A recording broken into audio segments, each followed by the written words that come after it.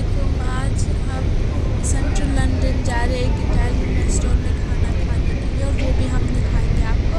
तो हम आपको लेकर चलते हैं हमारे साथ, और हम रास्ता तो ये अंडरग्राउंड स्टेशन है, जहाँ पर अभी ट्रेन आ रही है। ये ट्रेन बहुत फास्ट जाती है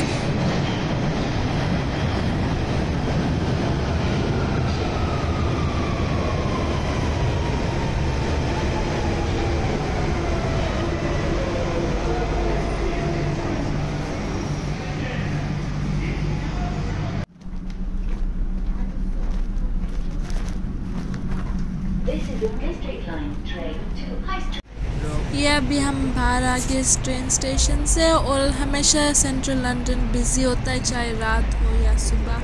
तो फिर अभी हम जाएँगे इटालियन रेस्टोरेंट की तरफ़।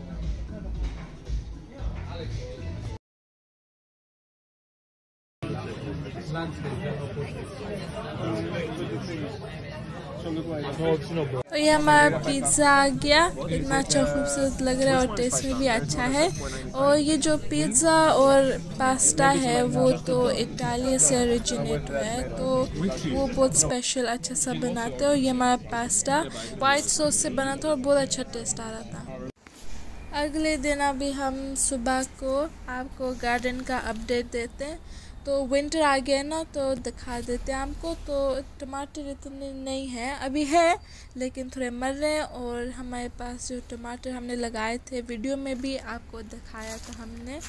तो आप ज़रूर देखना वो वाली वीडियो और ये हमारे पास टमाटर देखे थोड़े से मर रहे हमने एक लाल लाल उतार दिया था और ये पुदीना समर में मर गया था, अभी वापस विंटर में उग रहा है। इतना अच्छा हमने खाने में भी बहुत दफ़ा इस्तेमाल किया और ये गाजर उग रही है हमारी और उधर भी पुदीना दूर दिख रहा है। इधर हमारे पास बैंगन का पौधा है और ये देखिए अभी दिखाती हूँ मैं। थोड़े छोटे छोटे बैंगन है इसलिए छोटे वो तरीका बैंगन का छोटे वाले हैं। और देखो उधर लाल टमाटर उग रहा है, दूर से आपको तो छोटे एप्पल्स दिख रहे थे। और इधर ये मिर्चें हैं, नागा नागा चिली इसका नाम है। और देखो बहुत अच्छा खूबसूरत सा लगा है और बहुत सारे इसके, माशाल्लाह से मिर्चें बहुत अच्छी होगी।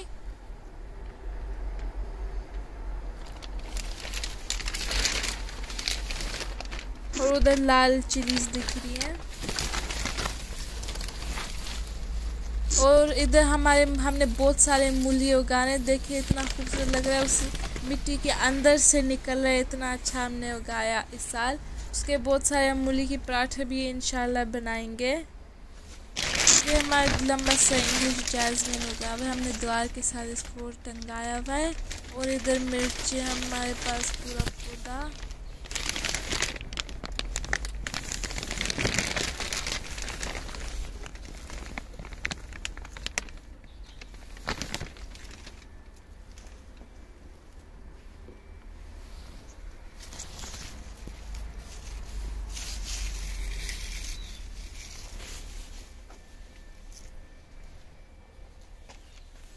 ये हमारे ग्रीन पेपर्स उगे हुए हैं बहुत अच्छा अच्छा लग रहा है।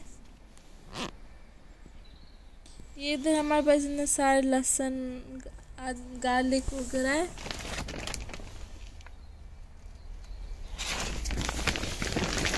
और दूर और दूर से भी देख सकते हैं, इतना अच्छा लाल शाइनिंग हो रहा है ब्राइट सा पेपर उग रहा है। इतना खूबसूरत लग रहा है, बहुत आँखों के लिए अच्छा लग रहा है। और इधर हमारे पास ग्रीन मिर्च और ये पीच का दरख्त। प्लीज़ लाइक और सब्सक्राइब कीजिए।